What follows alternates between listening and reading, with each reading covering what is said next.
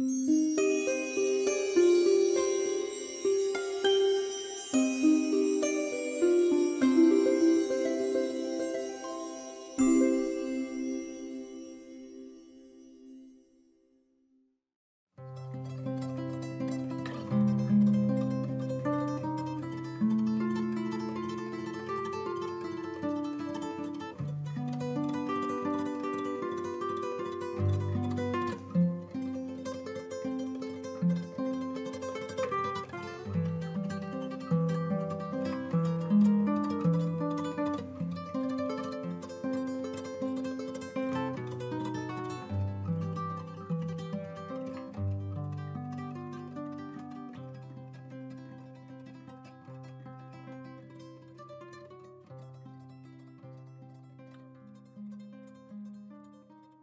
والا فرهنگستان رو من تاریخ تأسیسش یادم نیست که کی تأسیس شد. ولی باز یادمه که در راه اندازی فرهنگستان مرحوم دکتر حسن حبیبی خیلی نقش داشت. یعنی در این پیشنهاد این که ما فرهنگستانهایی داشته باشیم چون می‌دونیم که فرهنگستان در زمان پهلوی اول یه فرهنگستانی درست شده بود به اسم فرهنگستان ایران. که بیشتر کارش در واقع انتخاب یا وضع واجه های جدید برای واجه های غیر فارسی بود. حالا اونم داستان مفصلی داره. به حال یا آدمایی مثل مثلا محمد علی فروغی و اینا سعی می‌کردن که اونجا خیلی افراطی نباشه و خیلی سرگرا نباشه و ولی به حال این فرهنگستان از لحاظ رسمی تا سال فکر کنم 1925 26 اینا بود. یعنی تا 5 6 سال بعد از رفتن رضا شاه این فرهنگستان وجود داشت. ولی فعالیتی دیگه نداشت تقریبا.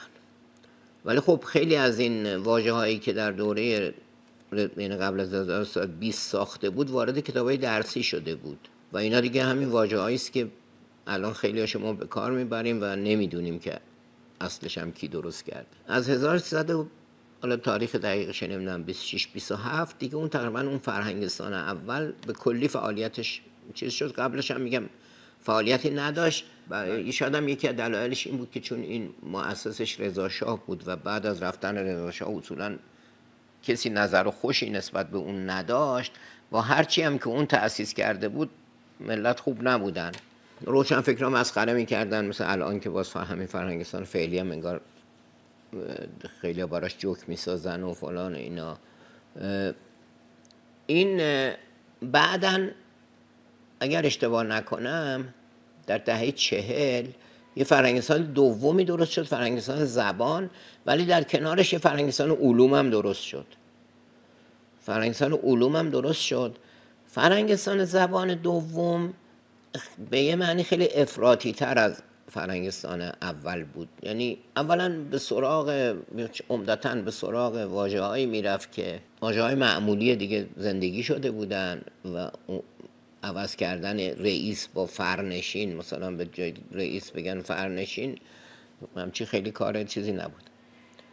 ولی به حال عمر زیادی هم نکرد. یعنی به حال بعد از انقلاب باز این دو تا فرهنگستان. الان یادم نیست که در اون زمان فرهنگستان پزشکی هم بود یا نه ولی منحل شدن باز. منحل شدن تا وقتی که فکر تأسیس این فرهنگستان های جدید چیز شد که این فرهنگستان های چهارگانه درست شد. فرهنگستان زبان و هنر و علوم و پزشکی. حالا من از اون سه تا فرهنگستان دیگه خبر ندارم ولی در فرهنگستان زبان باز میشه گفت که در پیشنهاد اعضای اولیه این فرهنگستان همون فعالیتی که در مرکز نشر شده بود مؤثر بود. یعنی شخص آقای دکتر پورجوادی هم در این, در این فاصله عضو شورای عالی انقلاب فرهنگی شده بود که بود تا یه مدت. ایشون خیلی تأثیر داشت در پیشنهاد اعضای اولیه فرهنگستان. چون فرهنگستان قرار بود 25 تا عضو دائم داشته باشه. منتها اول 15 تا ظاهرا اگه اشتباه نکنم انتخاب شدن که این 15 تا اون 10 تای دیگر انتخاب کنن خودشون. و در اون 15 تا مثلا چند نفر از ویراستاران و مترجمانی که در مرکز نش کار می‌کردن بودن. مثل مرحوم آقای نجفی آقای سعادت آقای سمیعی فلان. و یه عده از بزرگان قبلی مثل مرحوم محیط تباتبایی مرحوم احمد آرام. بنده با فرنگستان خیلی کار نداشتم ولی وقتی در فرانسه بودم خبرش شنیدم که در انتخاب این اعضای جدید چون فرنگستان متاسفانه به دلیل اینکه اعضاش غالبا سنشون خیلی بالاست جای خطرناکیه. یعنی تلفاتش کم نیست. همیشه در هر سال متاسفانه یکی دو تا از اعضاش از دست میده. باید اینا جانشین پیدا کنه به هر حال در یکی از این جلسات به منم رأی داده بودن و فکر گمان می‌کنم اگر اشتباه نکنم اون حکمی که به امضای آقای خاتمیه فکر کنم تاریخ 1472 یا نه 76 نمی‌دونم الان. من تاریخ ها رو به کلی با اینکه رشتم تاریخه ولی نسبت به و رشته قبلی من مهندسی بوده باید به عدد یه حساسیتی داشته باشم و به تاریخ ولی یادم میره اینا.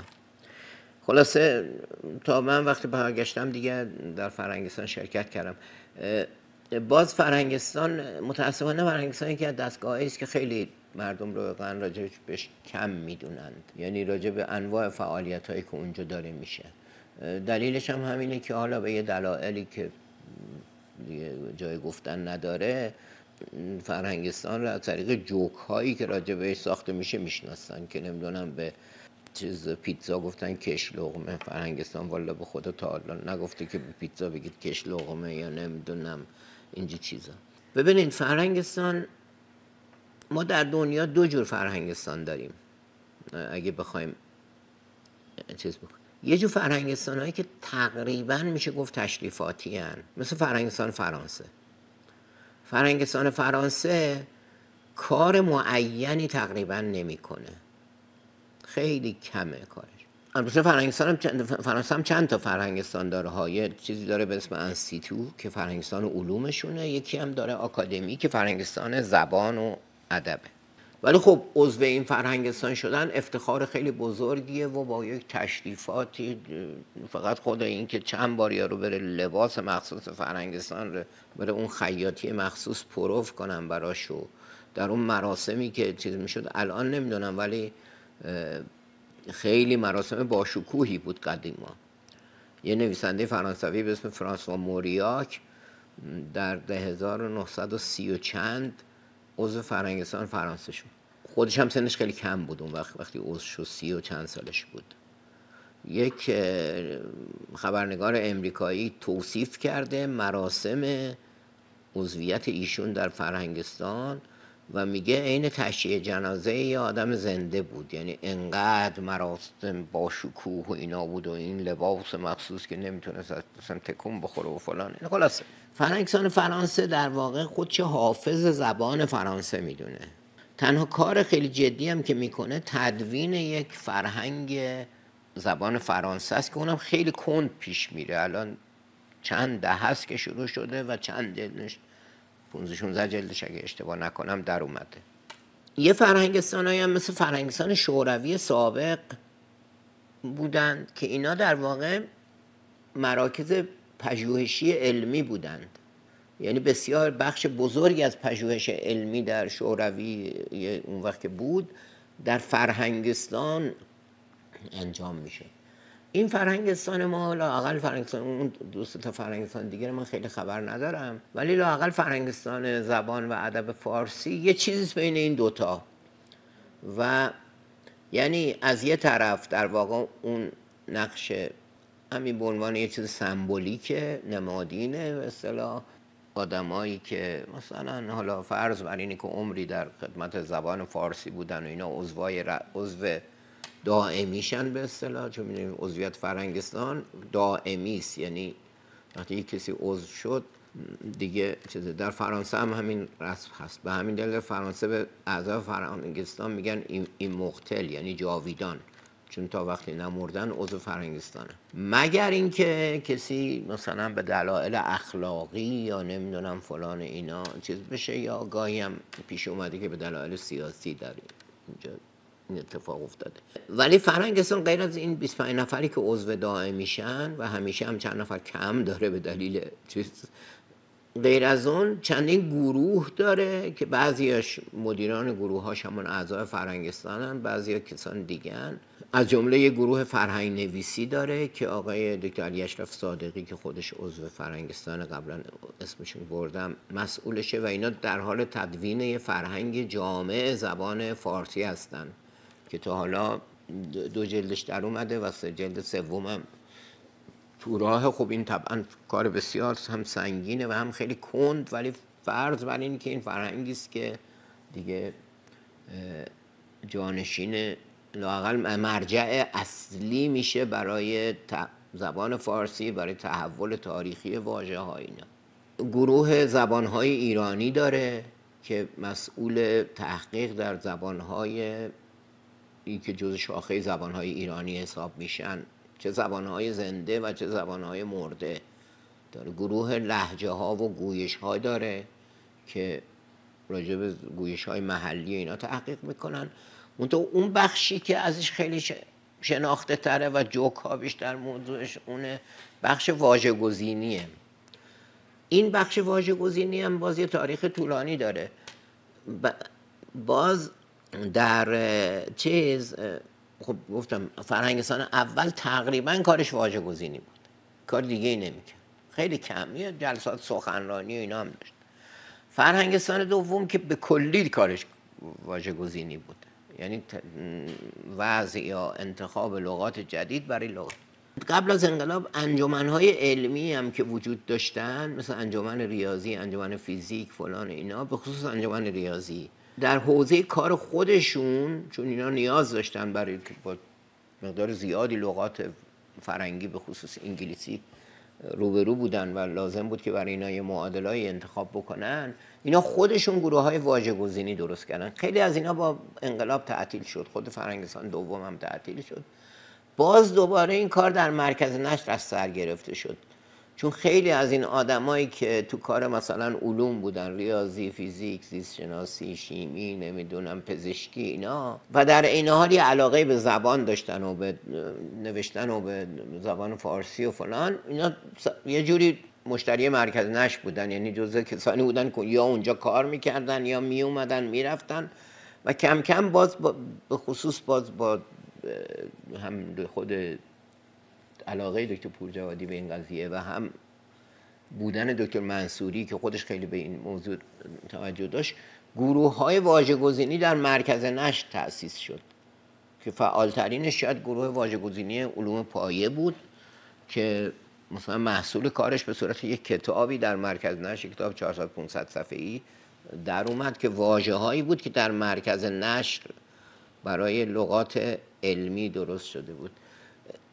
به یه معنی در واقع فرهنگستان سوم این فرهنگستانی که ما الان هستیم وارث اون میراث مرکز نشر عمدتا. یعنی بسیاری از هم آدمایی که همکاری می‌کنن در کار واژه گزینی و هم آدمایی که هم اون سنتی که اینا و سبکی که دارن اصولی که دارن تقریبا خیلیاش در مرکز نشر شده بود. ببینید متاسفانه باز در بیرون تصویر اینه که فرض بر که یه نفر اونجا میشینه میگه به پیتزا بگید کش لغمه اصلا اینجوری نیست. اولا عمده فعالیت فرهنگستان در زمینه واژگان تخصصی است. واژگان عمومی فقط یه بخش کار فرهنگستانه که مهمترینش هم نیست. این کسانی که راجع به این واژگان تخصصی تصمیم می‌گیرن بیشتر متخصص اون رشته هستند یعنی اگر فرض فرمایید گروه تغذیه ما اونجا داریم علوم تغذیه متخصصین رشته تغذیه در درجه اول میان اونجا واژه هاشون مطرح می‌کنن. حتی ما گروه خودرو داریم. کسانی از صنعت خودرو میان اونجا می اومدن الان به دلیل کرونا و اینا خیلی کمتر شده این فعالیت ها. بعد در این گروه ها یک کسانی هم عنوان نمایندگان فرهنگستان هستن که عموما اینا یا زبان شناسن یا ادبیات فارسی خوندن که اینا راجع به جنبه زبانی اون قضیه اظهار نظر می‌کنن. و تازه این واژه ها که انتخاب میشه میره به شوراهای واژه گزینی که در اون شوراهای واژه گزینی هم هم یه عده باز اهل علم هستن و هم یه عده اهل ادبیات و زبانشناسی. و اونجاست که این واژه ها تصویب میشه و تازه واژه ها بعد از تصویب پنج سال تازه کاربردشون آزمایشیه. یعنی حالا تازه بعد از تمام این حرفا هم فرنگستان هیچ زوری نداره که به مردم بگه که فلان واژه رو به کار ببرید فلان به کار نبرید. یعنی حتی دستگاه های دولتی که باید این حرف فرنگستان حرف فرنگستان برن اونا خیلی وقتا به کار نمی‌برن. رادیو تلویزیون که خودش برنامه هایی در مورد چیز داره نمی‌دونم فارسی را پاس بداریم و این حرفا در برنامه های دیگهش این واژه های فرنگستان رو خیلی وقتا رعایت نمی‌کنه. به هر حال مجموعا میشه گفت که این فعالیت واژه گزینی علا رقم این جوکایی که براش میگن و این چیزایی که می‌سازن خیلی سبب شده که زبان فارسی در حوزه های بخصوص علوم خیلی پویاتر و خیلی تواناتر بشه در بیان مطالب علمی. من یک خاطره دارم. یک استاد ایرانی که بعد از انقلاب به دلایلی از ایران رفته بود برای مسائل شخصی اومد ایران. اون مسائل شخصیش برای مدت طولانی حل نشد و این نمی‌دونم سر دعوای ملکی و اینا مثلا ممنوع خروج هم شد یا هم و اینجا موند و مدت ها در دانشگاه صنعتی درس می‌داد. و این قبلش در واقع قبل از اینکه بیاد ایران یعنی از قبل از انقلاب ایران بود بعد رفته بود در انگلیس استاد شده بود استاد خیلی خوب فیزیک هم بود. بعد حالا برگشته بود یکی دو سال اینجا مونده بود. این وقتی می‌خواست از ایران بره یعنی اون آخر اقامتش در ایران که دیگه کارش درست شد کاملا این دیگه این واجه های جدید فارسی رو به کار می برد در, حالی که در اولی که اومده بود نه اولش نصفش نصف لغاتی به کار می برد فرنگی بود. یعنی برای, برای این آدم راحت بود پذیرفتن این واژه ها و الان خیلی از این واژه ها داره به کار میره. مردم هم نمی‌دونن فکر می‌کنن فقط کارش. من واقعا این وظیفه یه جوری وجدانی خودم می‌دونم که از این جنبه دفاع کنم. اگرچه من با همه کارهای فرنگستان در زمینه واژه گزینی موافق نیستم. بعضیش به نظر من درست نیست. ولی در مجموع تاثیر خیلی مثبت و چیزی داشته روی پویایی زبان فارسی که حالا اون یه بحث خیلی جداگانه است. اینم از فرنگستان